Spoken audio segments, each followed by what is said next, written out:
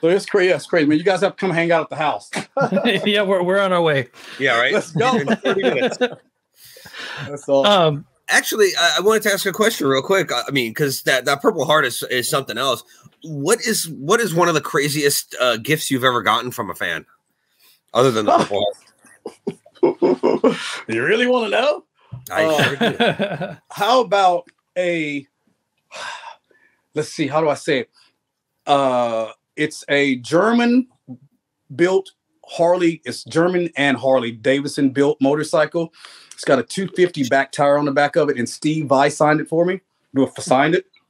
Uh, I got that as a gift about I don't know 10 years ago. This thing is uh, called Jaboom. It's a monster, but he's not a fan. He's a dear friend of mine.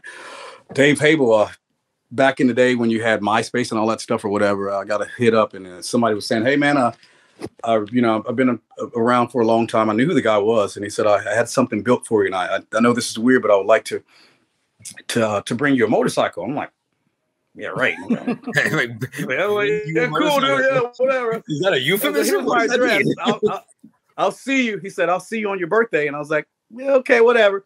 Let me, guys, let me tell you what. Dave Hable was one of my best friends in the world. This guy showed up from Orlando.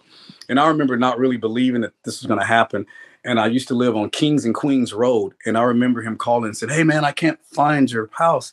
I'm, I'm by a Kmart. And I said, Oh, he ain't lying. Wait a second. you, you're on like the main strip up there, right? He's like, yeah, but I can't. I was like, man, I'm off a side road.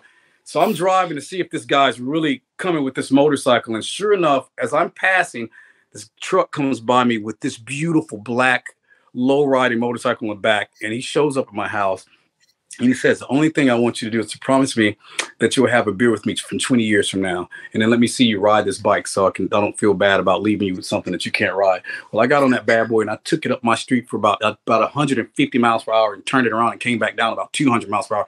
He said, You're good. Uh, see you later. So that that was my first motorcycle, and I got a second one too. So uh, yeah, that, that, that- that's probably the craziest gift is uh motorcycles. And then I house I have a Motley Crue signed guitar somewhere around here. That's a cool thing. Ronnie Van Zant, his mm-hmm. daughter Melanie, she gave me a, a, a platinum album to Ronnie that was presented to him. That's here in the house too. That's probably Wow. something that was a that's a great gift too. But you could go anywhere in this house. If you go downstairs, you go in my bathroom, and there's a you s- using the bathroom in there, and there's a dang plaque, and Chris Daughtry's looking at you. So that's weird. But you know, somewhere, sometimes you got to, you know, I learned that from Tommy Lee when I stayed at his house. I was like, uh, he had the one bathroom was canary, which was nothing but fur. I remember that. Yeah. It was all yellow canary fur in a fucking butt naked picture of Motley Crue from what it was a Rolling Stones or something. I remember. It's like staring at You you. can't make it up. I swear to God. So I don't feel bad when I put hang up my friends in my bathrooms. You know, some different bathrooms, you might see some artists in there. I don't mean that they're shitty or anything. It's just I feel comfortable sometimes taking a dump with some of my friends. you got a platinum album. I don't. I have a kiss. I have a kiss bathroom, so trust me, dude. Dude, oh no, you don't. I love Oh, it. Yeah, dude. Are So if you you're, peeing- if you're peeing, Paul Stanley's staring right at you. Oh, look at what just got sent to me, and I have to put it on my bar.